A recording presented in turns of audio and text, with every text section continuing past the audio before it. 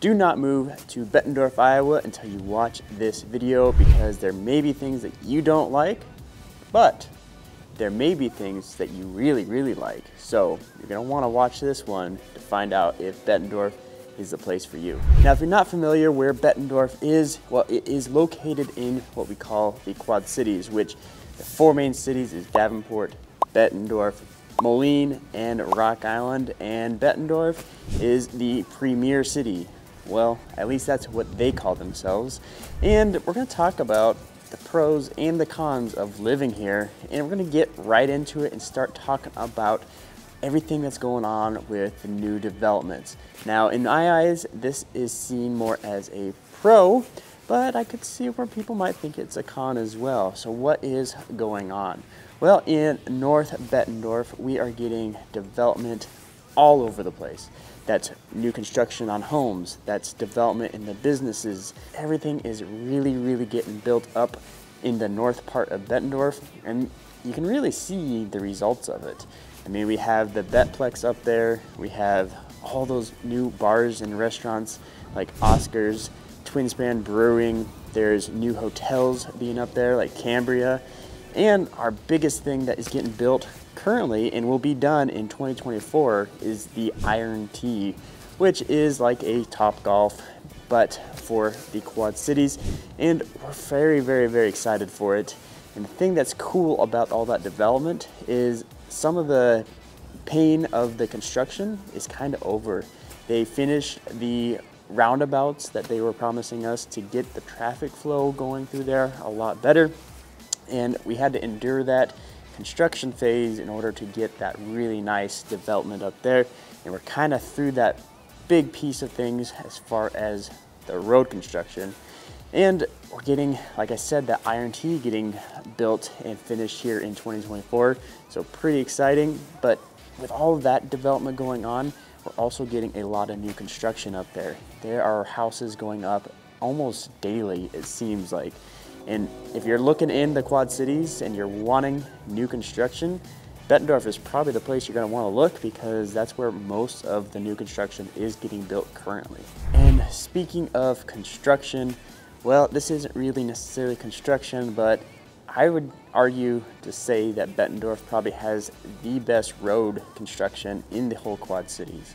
You hardly ever see any type of potholes, any um, cracks in the concrete. All the stormwater drains are working and it's really nice to see that as you're driving around, especially if you have a nicer car and you really don't want to have damage done to it because of potholes, which honestly potholes are inevitable, but Bettendorf gets after them pretty quickly.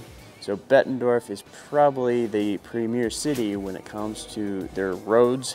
They are well maintained and the cool part about that is the city of Bettendorf actually keeps taxes lower because all that kind of construction stuff on roads is actually borrowed money.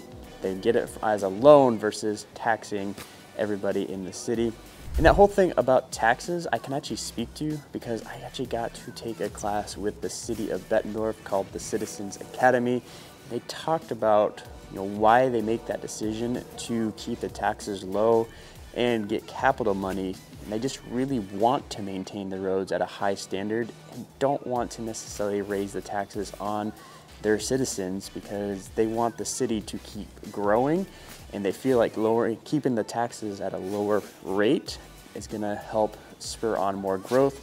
So far, it seems like it's working because Bettendorf is growing all the time as seen by the developments that we talked about earlier. So you get the lower taxes, but you also get the nice construction of the roads and the maintenance of the roads. And it really shows as you're driving around. You're not bumping all over, hitting all the potholes. So it's really cool to have that.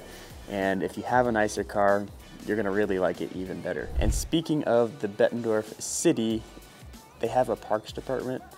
And if you're moving here, you're gonna notice that the parks are almost immaculate. In fact, I'm in a park right now. This is called Devil's Glen Park.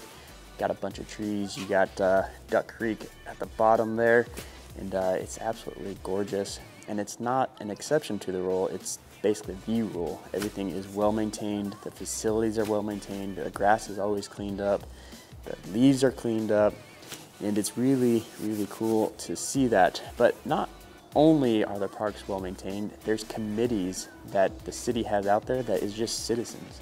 In fact, I'm a part of one of those, and I'm a part of the dog park committee.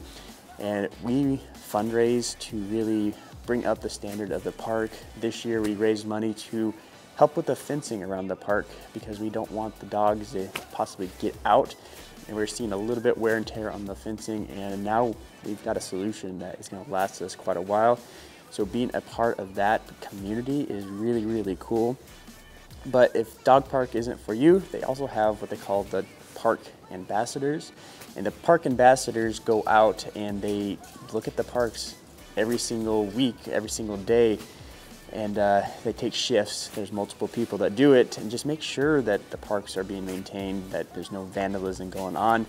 And in fact, I'm thinking about joining that myself because I think it's a cool opportunity to give back to, the city.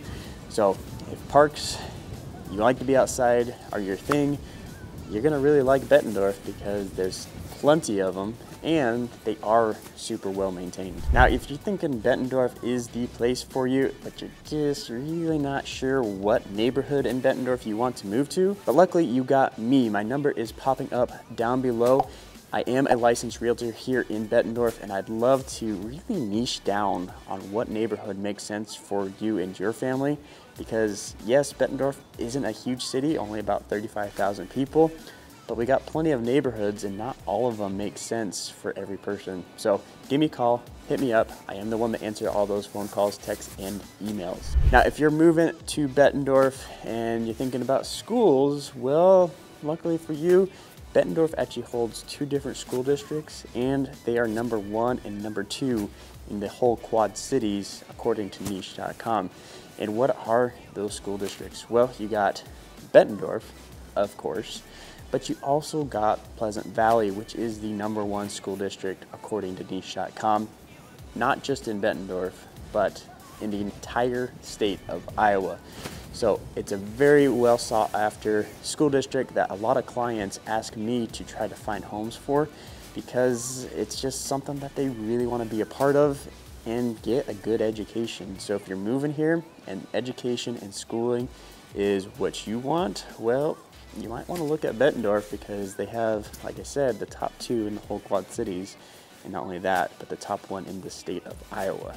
But the thing about the school districts is because you have two in Bettendorf, you gotta be careful on where you land as far as neighborhoods go because if you're wanting Pleasant Valley, you might land in a Bettendorf school district.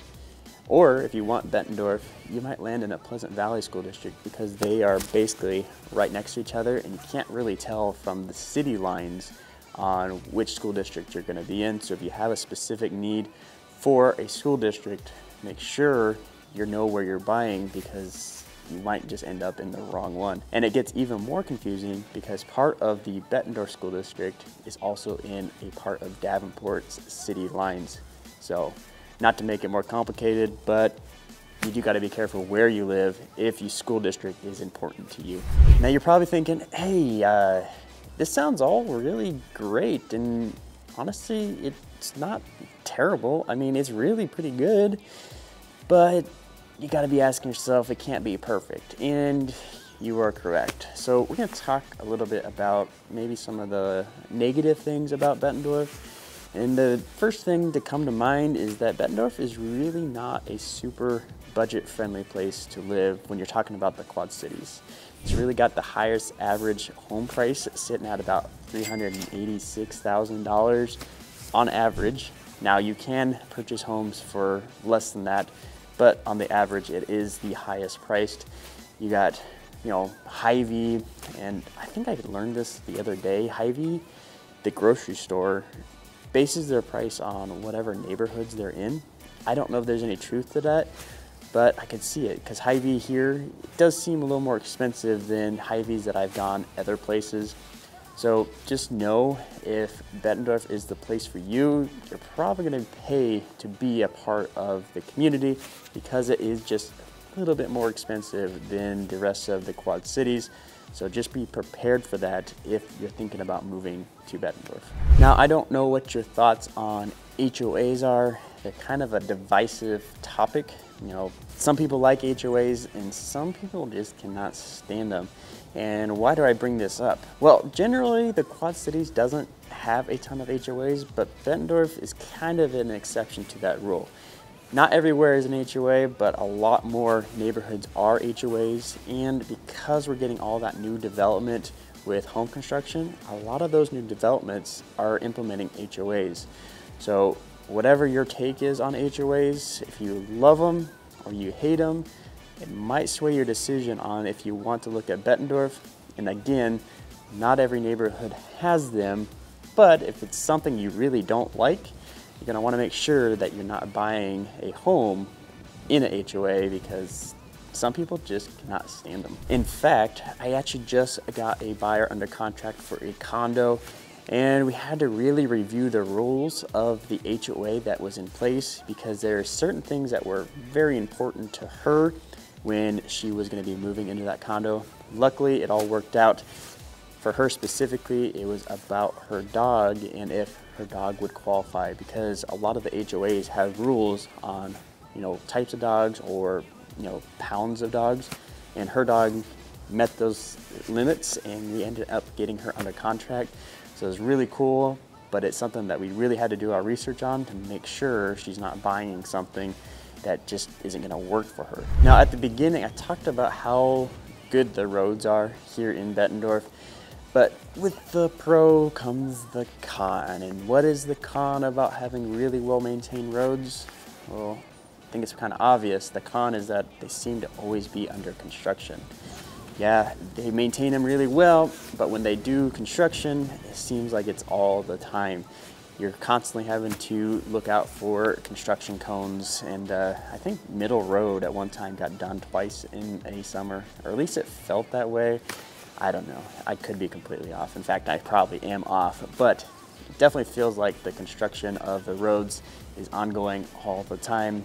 But I guess that's the price you pay if you want to have well-maintained roads. So take it or leave it, I guess. And speaking of traffic and roads, something that I've noticed about Bettendorf, and this isn't new, it's just something that drives me absolutely crazy, is whoever they've hired to design their parking lots for businesses and public works, I don't know what they're thinking.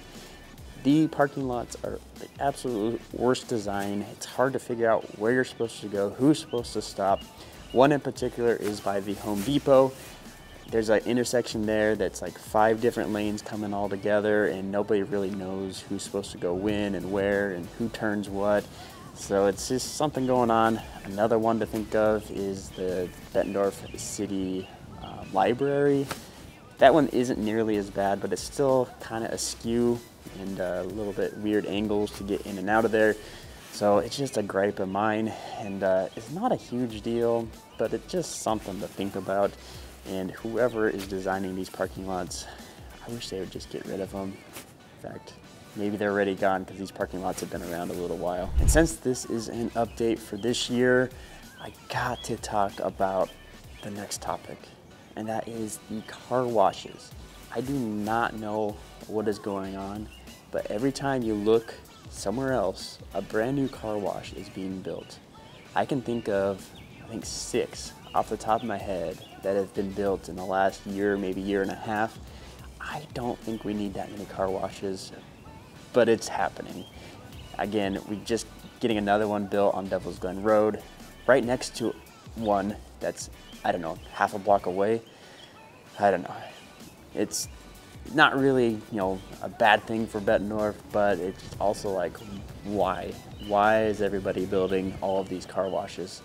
So I guess that could be a con as well. But if you have a nice car, at least you got plenty of options to get it washed.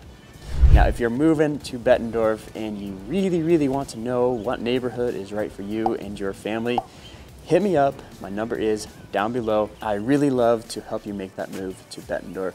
But if you just want to see what Bettendorf is actually all about, well, check out this video right here.